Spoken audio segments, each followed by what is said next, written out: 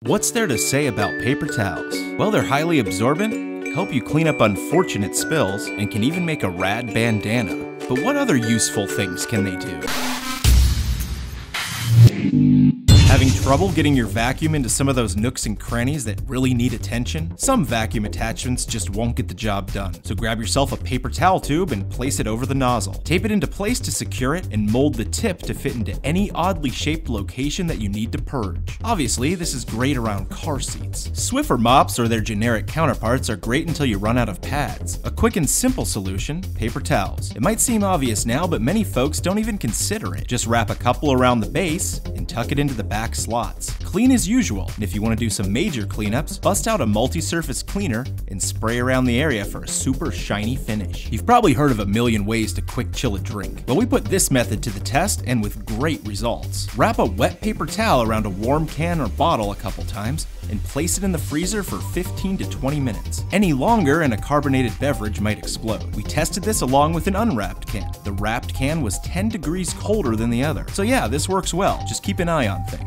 Disinfectant wipes are great for quick cleanups and keeping your surfaces sterile. The only problem is that they're overpriced. So why not make your own with some household materials? Grab a roll of paper towels and cut it to fit inside of a small Tupperware container with a serrated knife. Now it might look a bit ugly at the bottom, but we're more concerned with functionality here. Pop out the center tube and pull out a bit of the paper towel to serve as a dispensing point. Alright, almost done. Make a mixture of half a cup of water and half a cup of rubbing alcohol. Now this is enough to party, but if you want it to smell good too, add some drops of essential oil. Place the roll into the Tupperware and slowly pour the mixture over it until it's saturated. Cut a small X into the lid and feed the towels through the hole. Snap it shut and you're all set. Just keep it nearby to clean up any surfaces that need some quick sanitation. If you're ever in a situation where you'll be needing to move some sharp blades around, you know, like a barbecue or a children's birthday party, you might want to sheath it. Grab an empty paper towel tube and insert the blade. Carefully press down until you find the edge and fold the tube around itself, taping it into place. At the top, simply fold a corner down and tape it down as well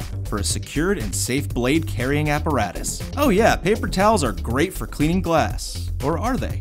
They always leave behind this pesky lint. For streak-free sparkling results, grab a few coffee filters instead. Coffee filters are designed to be lint-free, yet they clean up glass just as effectively, leaving no streaks and no lint. Look at that beautiful shine. When you're doing some grilling, sometimes the sauce can get spilling. Plan ahead and always have a nifty portable paper towel holder that's ready for action when you are. Just grab a plastic hanger and snip the center. Slide the roll over one end and then back over the other. Now this thing's ugly, so you probably don't want it in the kitchen, but it's great for the grill or workshop. Sometimes the smallest accidents can cause the worst pain, but you don't always need to break out a huge ice pack to soothe your wounds. Grab a paper towel and get it nice and wet.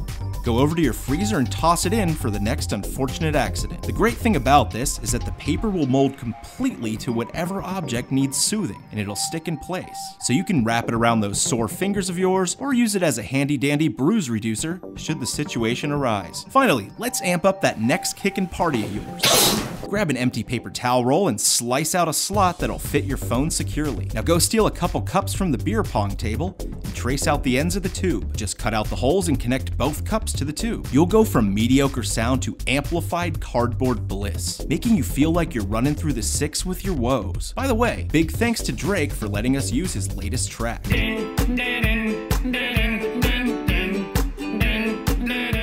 Thanks for watching, and we'll see you next time.